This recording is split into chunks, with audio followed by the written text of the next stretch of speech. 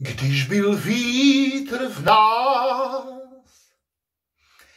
Spievať sa dá skutočne všade, akurát to bez kolegov a kolegyň a hlavne bez vás divakov nemá význam a nemá zmysel. To znamená, snažme sa byť k sebe dobrý, chrániť sa, chrániť ostatných a hlavne si pomáhať, aby sme sa čím skôr dostali späť do nášho krásneho divadla.